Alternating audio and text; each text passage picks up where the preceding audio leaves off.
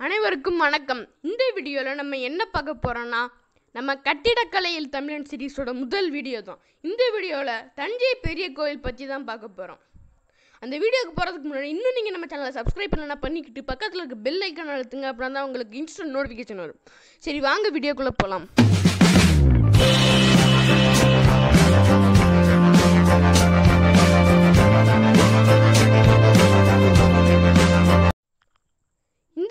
இதில் நம்ம கட்டமைப்பு பற்றி தான் பார்க்க போகிறோம் ஹிஸ் வரலாறு பார்க்க போகிறது இல்லை ஸோ இது வந்து க கட்டிடக்கலை தான் பார்க்க போகிறோம் முடிஞ்சா என்னால் முடிஞ்சால் இது சகாப்தங்கள் சரித்திரத்தில் போடுதேன் சகாப்தங்கள் சரித்திரத்தில் மனிதர்கள் பற்றி தான் போடணும்னு இல்லை. இதுவும் ஒரு சகாப்தம் தானே.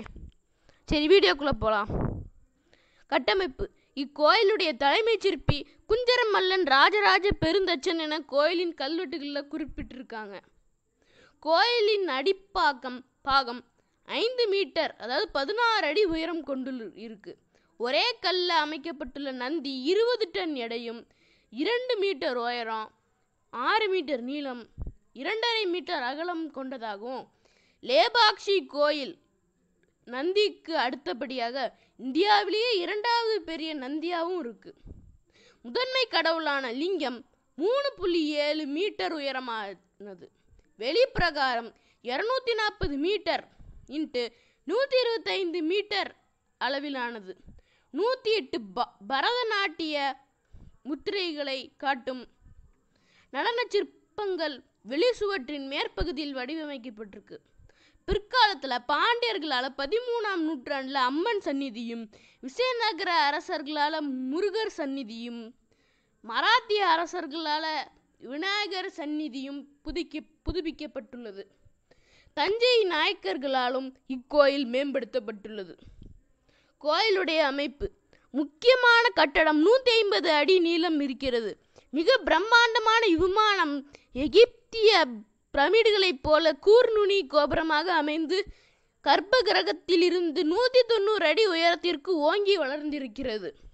அக்காலத்தில் கட்டப்பட்ட அக்காலத்தில் புவனேஸ்வரத்தில் கட்டப்பட்ட லிங்கராஜர் கோயிலின் உயரம் நூற்றி அறுபது அடி ஆகும். ராஜராஜேஸ்வரம் அதையும் மிஞ்சி விட்டமை குறி விட்டமை குறிப்பிடத்தக்கது. இந்த கோயிலில் பிற்காலத்தில் கட்டப்பட்டவைனா முன் தாழ்வாரம் நந்தி மண்டபம் கருவூர் தேவர் கோயில் அம்மன் கோயில் சுப்பிரமணியர் கோயில் ஆகியன. இவை தவிர இந்த மாபெரும் கோயிலின் ஏனைய பகுதிகள் யாவும் ஒரே காலத்தவை. இவற்றைய பெருமித தோற்றத்தையும் ஒருங்கிணைந்த திட்டத்தின் எளிமையான இயல்பையும் பாராட்டாமல் இருக்க முடியாது நம்மளால்.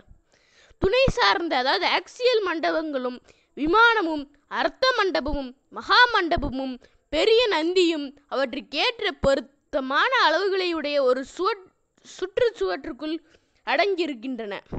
இச்சுவரில் கிழக்கே ஒரு கோபுரம் இருக்கு. மதுளை ஓட்டி உள்பக்கமாக பல தூண்களுக்குள்ள ஒரு நீண்ட மண்டபம் செல்கிறது. இது முப்பத்தஞ்சு உட்கோயில்களை இணைக்கிறது. நான்கு திசையிலையும் பல இடைவெளிக்கு நடுவே கேந்திரமான இடங்களில் இந்த உட்கோயில்கள் கட்ட பெற்றிருக்கின்றன இரண்டாவது வெளி பிரகாரத்தின் வாயிலா இருந்த இடத்தின் முன் பக்கத்தில் இரண்டாவது கோபுரம் இருக்குது இதோடைய வடிவமைப்பு பற்றி அடுத்த வீடியோவில் பார்ப்போம்.